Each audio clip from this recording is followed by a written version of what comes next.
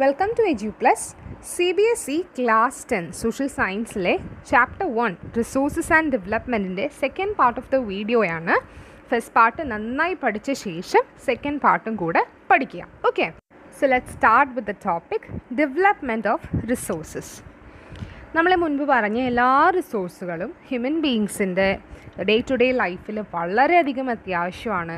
And ഒരു quality life maintain ചെയ്യണമെങ്കിൽ നമുക്ക് എല്ലാ റിസോഴ്സസും വളരെയധികം ആവശ്യമാണ്. എന്നാൽ ഹ്യൂമൻ ബീങ്സ് എന്താ ചെയ്യുന്നത്?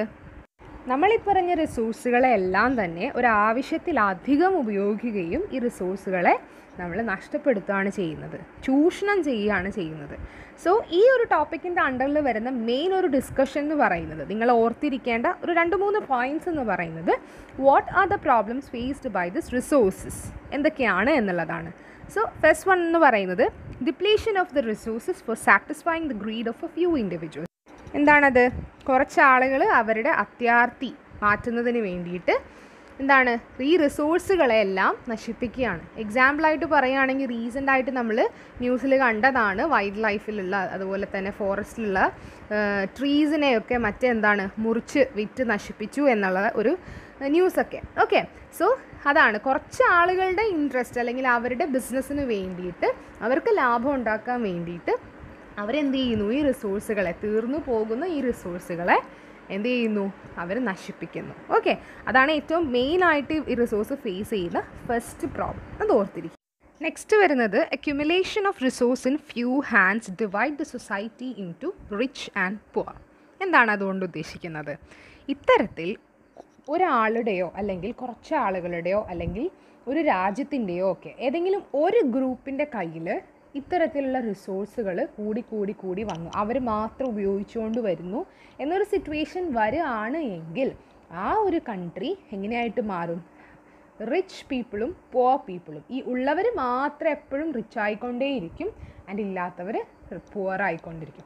സോ ഈ റിസോഴ്സ് ഫേസ് ചെയ്യുന്ന ഒരു പ്രോബ്ലമാണ് അത് ഒരാളിൽ അല്ലെങ്കിൽ ഒരു ഗ്രൂപ്പിൽ ഒരു സെക്ഷൻ ഓഫ് സൊസൈറ്റിയിൽ മാത്രം അക്യുമുലേഷൻ വരുന്ന ഒരു പ്രശ്നം. ഓക്കെ അങ്ങനെ ഒരു അക്യുമുലേഷൻ കുറച്ച് ആളുകളിൽ വന്നാൽ ആ രാജ്യം എങ്ങനെയായി മാറും? Having and have nots rich and poor അതാണ് അവിടെ ഉദ്ദേശിക്കുന്നത്. ദെൻ തേർഡ് പോയിന്റ് പറയുന്നത് എന്താണ്? It leads to global warming ozone layer depletion എൻവയോൺമെന്റൽ pollution land degradation നമ്മളിങ്ങനെ ഒരുപാട് വൈൽഡ് ലൈഫും ഫോറസ്റ്റും വാട്ടറും അങ്ങനെ ഏതൊക്കെ രീതിയിലുള്ള റിസോഴ്സുകളുണ്ടോ അതിനെല്ലാം നശിപ്പിച്ചുകൊണ്ടേയിരുന്നാൽ it leads to global warming ozone layer depletion എൻവയോൺമെന്റൽ pollution and land degradation so എങ്ങനെ നമുക്ക് ഇത്തരം പ്രോബ്ലംസിനെ ഓവർകം ചെയ്യാനായിട്ട് പറ്റും? എങ്ങനെ ഈ റിസോഴ്സിനെ ഒരു സ്മൂത്ത് റണ്ണിങ്ങിലേക്ക് കൊണ്ടുവരാനായിട്ട് പറ്റും? അതാണ് ഇവിടെ ഒരു സൊല്യൂഷനായിട്ട് നിങ്ങൾക്ക് പഠിക്കാനുള്ളത്. The type of development is known as sustainable development resources develop ചെയ്യുമ്പോൾ വരുന്ന പ്രശ്നങ്ങൾ നമ്മൾ പഠിച്ചു ഡിസ്കസ് ചെയ്തു. എന്നാൽ ഈ പ്രശ്നങ്ങളെ എങ്ങനെ ഓവർകം ചെയ്യാം? By through sustainable development okay വളരെ സിമ്പിളാണ് കുട്ടികളെ. രണ്ട് കാര്യങ്ങൾ നിങ്ങൾ ഓർത്താൽ മതി. സസ്റ്റൈനബിൾ ഡെവലപ്മെന്റ് എന്ന് പറഞ്ഞാൽ ഡെവലപ്മെന്റ് നടത്തും. എങ്ങനെ? Without damaging the environment and by considering the future generation അതായത് പ്രകൃതിയെ നമ്മൾ ഒരു രീതിയിലും ചൂഷണം ചെയ്യാം ചെയ്യാതെ അതുപോലെ നാളത്തെ ഒരു തലമുറയ്ക്കും കൂടെ ഉണ്ട്.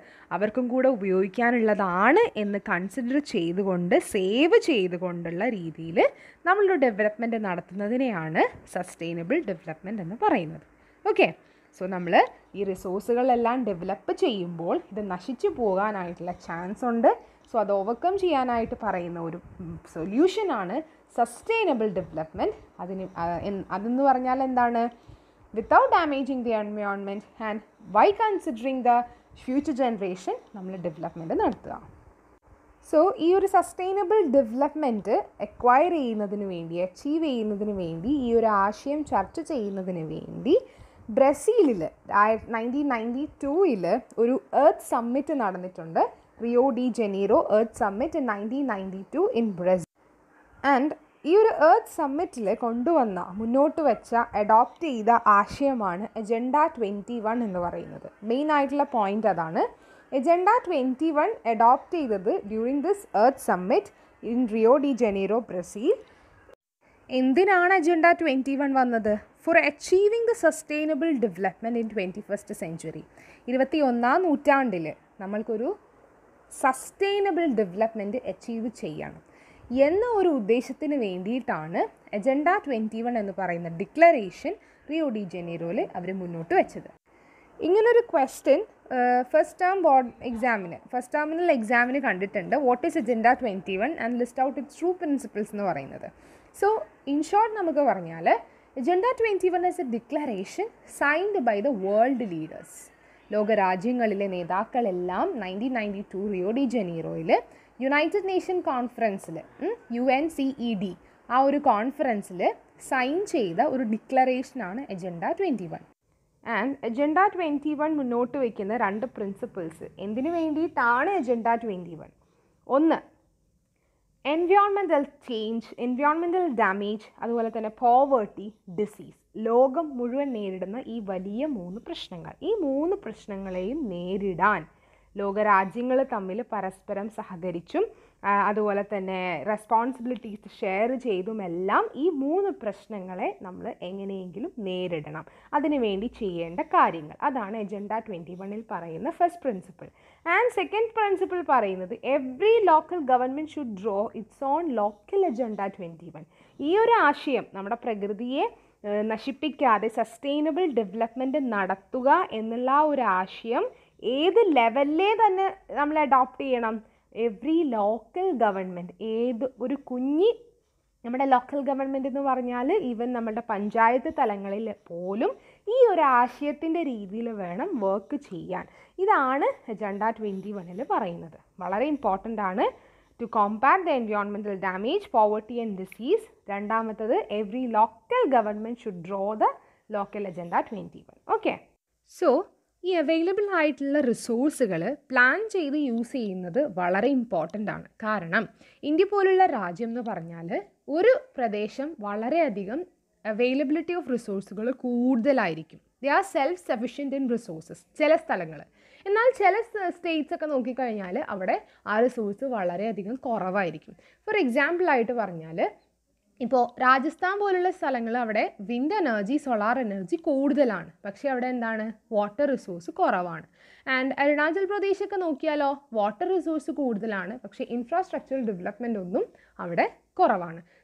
ഇത്തരത്തിൽ ഒരു ഇംബാലൻസ് ഇന്ത്യ പോലുള്ള രാജ്യത്തുണ്ട്. അതുകൊണ്ട് തന്നെ we need a resource planning in national level state level regional level and local level ഈ നാല് തലങ്ങളിലും രാജ്യപരമായിട്ടും ഒരു സംസ്ഥാനത്തിന്റെ രീതിയിലാണെങ്കിലും എല്ലാ ലെവൽസിലും നമ്മൾ റിസോഴ്സിനെ പ്ലാൻ ചെയ്ത് യൂസ് ചെയ്യേണ്ടത് വളരെയധികം അത്യാവശ്യമാണ്. So resource planning in India is very very important so നമ്മൾ പ്ലാൻ ചെയ്യാൻ പോവാണ്. റിസോഴ്സിനെ എങ്ങനെ വൈസ്ലി യൂസ് ചെയ്യാം എന്നുള്ളതിന്റെ ഒരു റിസോഴ്സ് പ്ലാനിങ് നടത്തുമ്പോൾ അതിൽ വരുന്ന ഫസ്റ്റ് പ്രോസസ്സ് അല്ലെങ്കിൽ ഫസ്റ്റ് സ്റ്റെപ്പ് എന്ന് പറയുന്നത് identification of the resources across the country നമ്മളുടെ രാജ്യത്ത് ഓരോ റിസോഴ്സും എവിടെയാണ് എന്ന് ഐഡന്റിഫൈ ചെയ്യുക. ഇനി എങ്ങനെയാണ് ഐഡന്റിഫിക്കേഷൻ നടത്തേണ്ടത്? എങ്ങനെയാണ് നമ്മൾ ഐഡന്റിഫൈ ചെയ്യേണ്ടത്?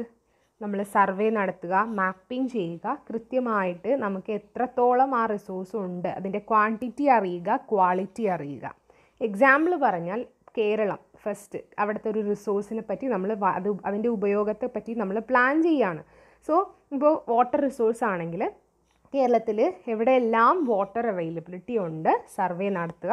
ദെൻ മാപ്പിംഗ് ചെയ്യുക. എത്രത്തോളം ഉണ്ട് എന്ന് നോ കണ്ടെത്തുക. ഇതാണ് അതിന്റെ ആദ്യത്തെ സ്റ്റെപ്പ് ഐഡന്റിഫിക്കേഷൻ ഓക്കെ സോ നമ്മൾ ഇപ്പോൾ എത്ര റിസോഴ്സ് ഉണ്ട് എന്ന് നമ്മൾ ഐഡന്റിഫൈ ചെയ്തു. ഇനി നമ്മൾ ഈ റിസോഴ്സിനെ ഡെവലപ്പ് ചെയ്യാനുള്ള പ്ലാനിങ് ചെയ്യണം. ഫസ്റ്റ് സ്റ്റെപ്പ് ഐഡന്റിഫിക്കേഷൻ ആണെങ്കിൽ സെക്കൻഡ് എന്ന് പറയുന്നത് പ്ലാനിങ് ആണ്. ഓക്കെ അപ്പോൾ നമ്മൾ പ്ലാനിങ് ചെയ്യേണ്ടത് എങ്ങനെയാണ്? Using skill technology and institutional setup നമ്മൾക്ക് അവൈലബിൾ ആയിട്ടുള്ള സ്കിൽസ് യൂസ് ചെയ്ത് സാങ്കേതിക വിദ്യകൾ ഉപയോഗിച്ച് ഈ പറഞ്ഞ നമ്മൾ കണ്ടെത്തിയ ഓരോ റിസോഴ്സിനെയും എങ്ങനെ കൂടുതൽ നന്നായി ഉപയോഗിക്കാമെന്ന് പ്ലാനിങ് ചെയ്യലാണ് second step then matching the resource development plans with overall national development plans last സ്റ്റെപ്പായിട്ട് പറയുന്നത്. കാരണം നമ്മൾ കണ്ടെത്തിയ ഓരോ പ്ലാൻസും നമ്മളുടെ നാഷണൽ ലെവൽ നാഷണൽ ഡെവലപ്മെന്റ് പ്ലാൻസുമായിട്ട് എത്രത്തോളം മാച്ചിങ് ആണ് എത്രത്തോളം കോപ്പപ്പ് ചെയ്യും? രാജ്യത്തിന് മൊത്തമായിട്ട് ആ ഒരു ഡെവലപ്മെന്റ് പ്ലാൻ എത്രത്തോളം യൂസ്ഫുൾ ആണ് എന്നുള്ള രീതിയിൽ മാച്ച് ചെയ്ത് നോക്കുക. So first one identification second one planning and third one is matching ഇതാണ് ഒരു റിസോഴ്സ് പ്ലാനിങ്ങിന്റെ ബേസിക് ആയിട്ട് പറയുന്ന മൂന്ന് സ്റ്റെപ്സ് എന്ന് പറയുന്നത്. സോ ഈ ഒരു സെക്ഷനിൽ വരുന്ന കാര്യങ്ങൾ ഇത്രയാണ്. ഇനി നമുക്ക് പഠിക്കാനുള്ളതാണ് ഈ ചാപ്റ്ററിലെ വളരെ ഇമ്പോർട്ടന്റ് ആയിട്ടുള്ള ഒരു ഭാഗം that is land and soil as a resources very important ആണ്. ഒരുപാട് ക്വസ്റ്റ്യൻസ് ആ ഒരു ഭാഗത്തുനിന്ന് വന്നിട്ടുണ്ട്. സോ നമുക്കത് പുതിയ ക്ലാസ് ആയിട്ട് നെക്സ്റ്റ് വീഡിയോയിൽ ചെയ്യാം. പഠിക്കുന്ന കുട്ടികൾ അന്നന്ന് തന്നെ വളരെ കൃത്യമായിട്ട് തന്നെ പഠിച്ചു പോവുക റിവൈസ് ചെയ്ത് കേൾക്കുക. നിങ്ങൾക്ക് revision is very very important in a learning process okay so revise ചെയ്ത് നിങ്ങൾ ഫ്രീ ടൈം ഉള്ളപ്പോഴൊക്കെ ഈ വീഡിയോസ് പ്ലേ ചെയ്ത് കേട്ടുകൊണ്ടിരിക്കുക പോയിന്റ്സ് പഠിക്കുക കാര്യങ്ങൾ മനസ്സിലാക്കി വെക്കുക. ഓക്കെ സോ നമുക്ക് അടുത്ത വീഡിയോയിൽ കാണാം. എന്തെങ്കിലും ഡൗട്ട്സ് ഉണ്ടെങ്കിൽ കമന്റ് ചെയ്യുക. നമുക്കിനി തുടർന്ന് കണ്ടിന്യൂസ് ആയിട്ട് വീഡിയോസ് ഇടാം. താങ്ക്